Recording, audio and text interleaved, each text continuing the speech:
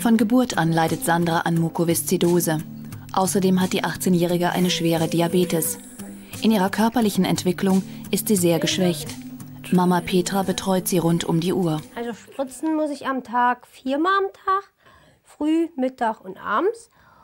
Und dann muss ich äh, zwischendurch inhalieren, acht bis neunmal, kommt drauf an, wie in der Nacht.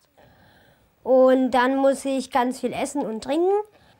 Ich muss deshalb so viel trinken, weil das, dass der Schleim äh, flüssig bleibt und dass ich den besser raushusten kann. Die 18-Jährige ist fast immer auf ihr Sauerstoffgerät angewiesen. Ihr Lungenvolumen liegt nur noch bei knapp 30 Prozent. Die maximale Lebenserwartung liegt bei dieser Krankheit bei etwa 30 Jahren. Die letzten Jahre ging es Sandra ganz gut, aber seit einiger Zeit hat sich ihr Zustand rapide verschlechtert.